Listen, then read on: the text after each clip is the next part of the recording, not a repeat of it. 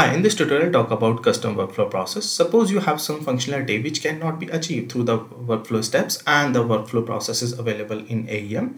Then you can write your own custom workflow process. Uh, this process will be available inside the drop down of process step. This workflow process does not have its own dialog. So you, if you want to give some input, you can give input through the process step dialog. You can write custom workflow process in the same way how you write other backend modules. You have to implement an interface called workflow process and the same interface work as a service in the at the rate component annotation. The one property is important here that is process dot label. So whatever label you define here that this will be available inside the drop down of process step. Rest of the other two properties are not mandatory. These are the generic one you can use in any other backend module as well. But this is important okay. Uh, once you implement that workflow process interface then you have to implement a method called execute. This method has three uh, parameters workflow item session and metadata map. I'll talk about these three parameters in detail so I have written a workflow process, custom workflow process by implementing a workflow process and it has an execute method and process.label is geeks workflow process. So as soon as I deploy this, a process will be available inside the drop down of process step. So first let me build it and let me show you. So this is the model I have created for the past two tutorials. In that same model, let's uh, use a process step so this is my process step. If i see there they should be in this drop down in the processes in this drop down there should be another process with name geeks workflow process. So you will be seeing here the geeks workflow process is available inside the process step. So i will choose this. If you want to give some information to this process then you have to use this arguments because it does not have its own dialog because it's a process just a backend implementation now let's talk about these parameters. This workflow session. This session is available to perform all your actions and you will be using this workflow session to get any other object. For example suppose you need a resource resolver in this work, uh, workflow process. So in other backend module you use system user to get resource resolver. But this is the exception. In this case you have to use workflow session to get resource resolver or any other object you need in this workflow process. You can just use workflow session dot adapt to and that object. So suppose if you need resource resolver or the JCR session, you should get it from this workflow session. You should not inject any other custom object in workflow process. This metadata map, basically if you pass any information or into the dialog, this that dialog value will be available through this metadata map, this process argument. If you see here, if you come here and you pass some information in this argument, so this argument uh, information in this dialog, you can get it through this metadata map okay this now this workflow item. This is very important. Let's focus on this diagram to understand workflow item. Suppose you have a process and inside that process you uh, use this custom workflow process. Your process will not be alone in your model. So in that case you will have some process steps before this and also you will be having some steps after this. So there will be some information and payload which will be flowing from the starting of your model or the workflow till end. Suppose your model or the workflow started here and it says some step one and it will have step three right? So that when your workflow started some information or the payload will be flowing from starting of the workflow to end of the workflow. So that payload and the other information which is flowing from starting of workflow to end of the workflow that should be available in your process step. Means that information should be available in your this in this process. Means this execute method. So the whole information and payload whatever you need that information will be available inside this workflow item object and it will flow from starting to end. So apart from the payload it has other information as well that you need. You can pass on your uh, custom information as well to next step. So whatever the information available in process step that will be available to this process your custom workflow process through this workflow item. And if you want to pass on some additional information to next step you can add to that information to this workflow item object by itself by default it will be keep adding the important information itself as well but you can add your custom information as well so we'll see this in this demo so first I'll show you how you can get the dialog argument. So in this process step dialog, I will add a property called or the string called approver is equal to geeks. But rather than I use one, I'll use two. Okay, I'll use one more. So let me sync it first and let's add one more before this.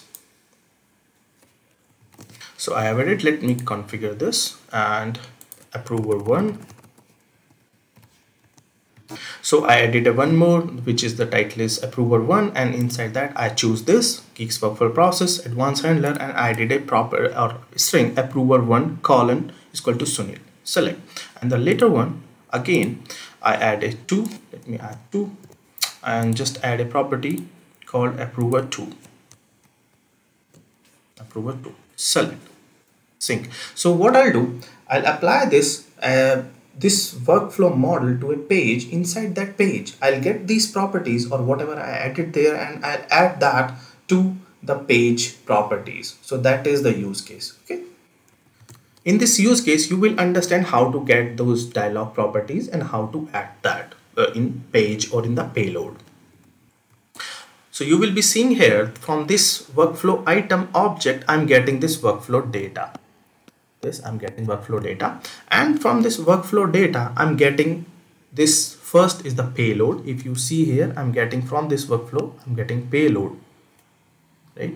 This payload from the get payload. And from this session as I told you to add these properties I need a JCR session so what the JCR session I'm getting from this workflow session as I told you, you should not inject your any of the object. You should use this workflow session to get any other object. So I, what I'm doing here, I'm just doing adapt to and the JCR session, right? So in this line number 39, what I'm getting, I'm getting a payload and then payload, basically the payload will be the path of your page. And then I'm getting the JCR content node, right? And then this node, I'm converting this path means the path till JCR content, I'm converting that in node, JCR node using get item session dot get item. Okay, till here I got the node means the JCR content node. Now I'm what I'm doing, I'm getting this the dialog properties. And the name of that property is prop process underscore args. So what i'm doing i'm getting it and then i'm splitting this based on the comma. So if you have multiple strings added by separated by comma those will be available inside the string uh, array string. This is a java right? And then i'm again splitting that based on the colon. Because if you see here i pass the property separated by colon. So the same thing i'm getting here in this loop. And then what I'm doing I'm just adding these properties inside that node. Means the JCR content node what I got here right? So once this workflow will be execute so it will take these properties and add in JCR content. So let's see. Let me build it okay so build has been successful. Now let's don't forget to sync it. So now let's start this workflow on some page. By passing values just run it.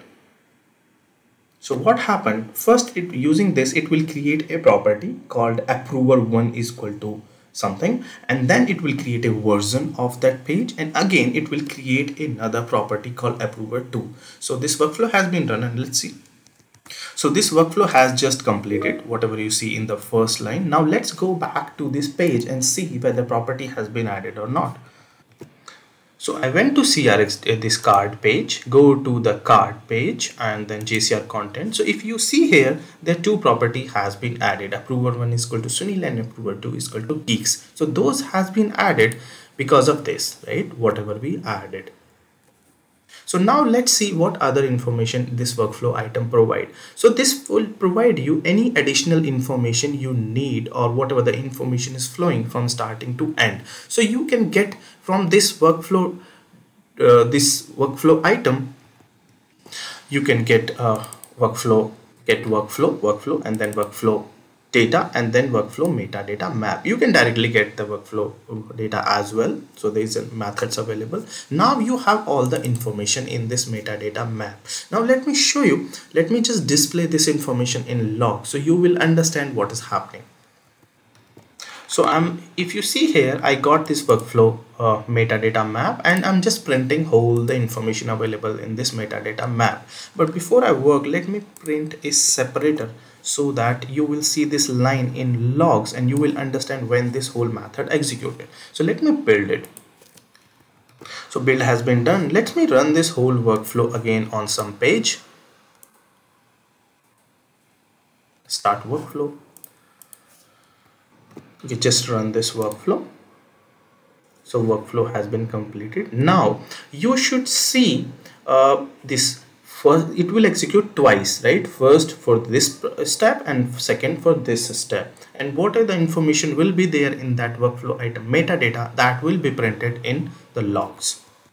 Okay you will see in logs this has been executed twice because you see this line twice. The first time when it executed you will see some information here like keys means uh, workflow title job and start commit. So the three information is available.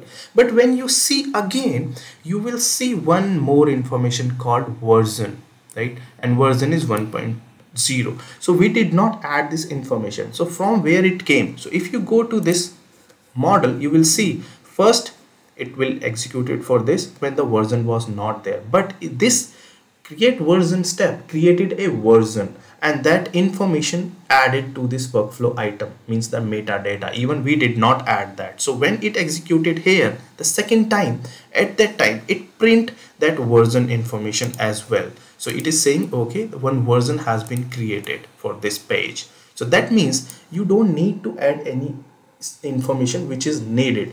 But you can add your own information as well. So let me show you one more time and add that prop properties as well to this metadata okay so let me add this before this loop so that this metadata is available while running loop.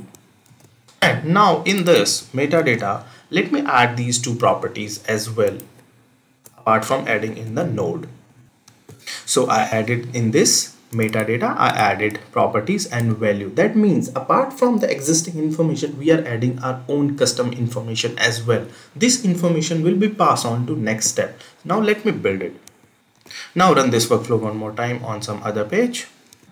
Okay now let me run by giving title and the comment. So if I run it it has been executed. Now let's see what printed in logs.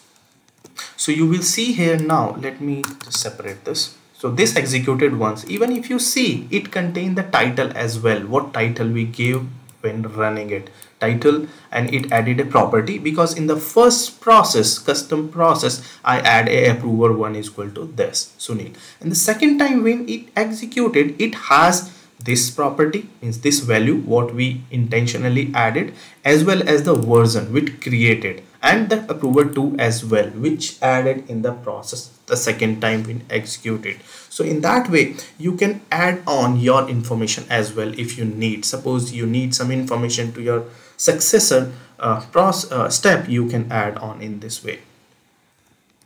I hope you understood this custom workflow process. If you have any question please do comment. Thank you